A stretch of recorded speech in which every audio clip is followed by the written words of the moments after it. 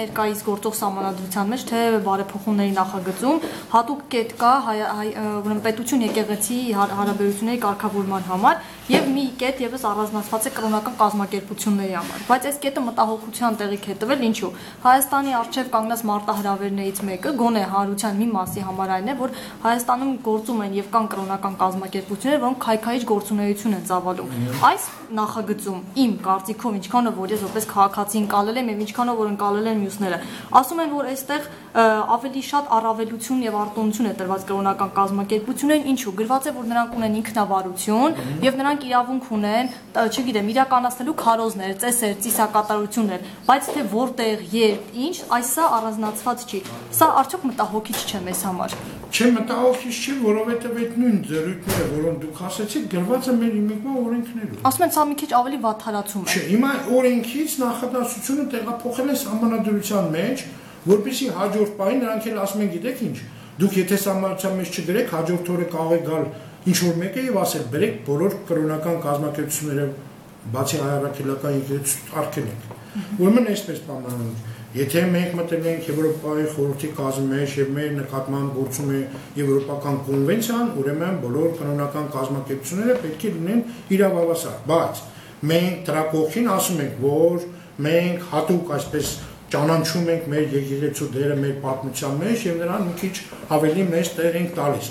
Մնացածը գաղափարական պայքարի հիմնախնդիր է։ Դուք ինչի եք ուզում օրենքի միջոցով լուծել այն հարցը, որը պետք է լուծել քարոզի միջոցով։ Հասկացա՞ք հայ հայապահպանության խնդիր է սա։ Լավ, հիմա եթե գրված է կրոնական գնացեք քարոզեք ինչ հայ առաքելական դամանանքը դարձի բերեք այն բոլոր անձանց, որոնք գնացել են, ասենք այդ տաղաններին եւ այլն, ոչ թե փորձեք արկել են։ Լավ, հիմա եթե դուք չեք կարող դա անել, չեք կարող անել ինչու, որովհետեւ անմիջապես կդիմի Լավ, հիմա եթե գրած է կրոնական կազմակերպություններն ունեն ինքնավարություն, սա արդյոք չի փակում իրավապահների ճանապարհը, որպեսզի մտնեն ստուգեն, որտեղ ԱԱՑ-ն Ուրեմն դուք որպեսզի կարողանաք ավելի շատ պատկերացում ունենաք, գնացեք օրենքը բերեցեք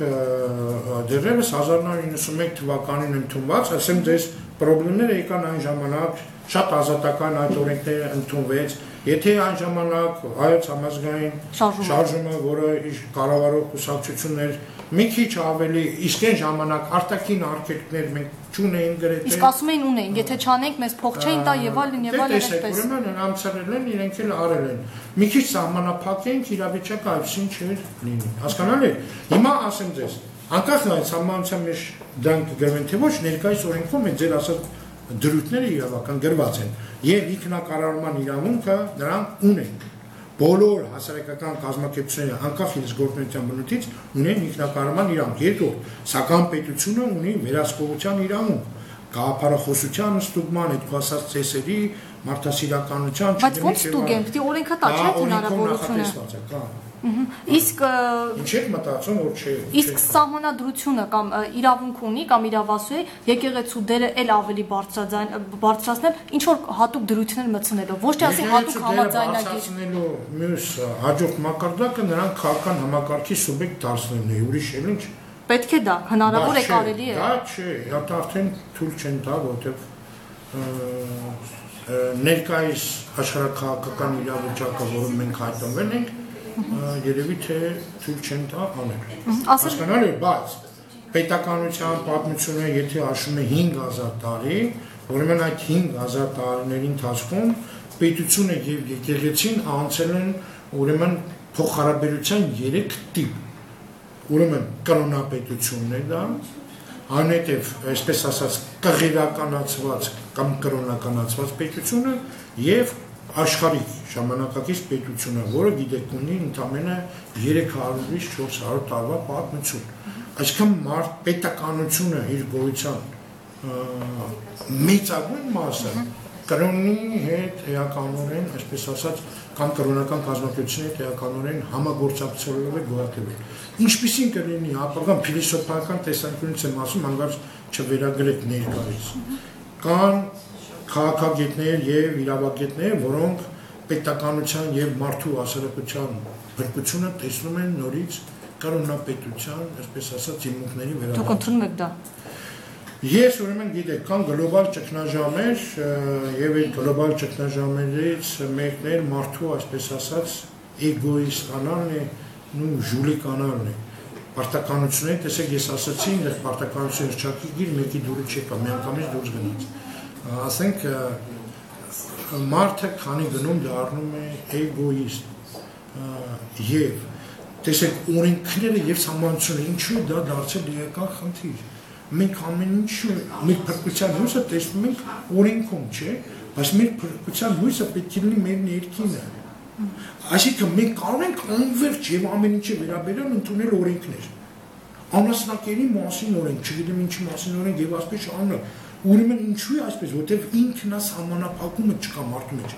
Մենք դա դուրս ենք թողել։ Հիմա ինչը լինելու սրա վերջը, սրա վերջը լինելու է, որ մենք մեր կյանքը դարձնենք իրավական ջունգլի որը իրականում արդեն որոշ տարերը մենք ունենք, հասկացա՞ք։ Ուրեմն ինչ ասում են, ո՞րն է սրանից ելքը, մարդիկ ասում են, որ պետք է վերադառնալ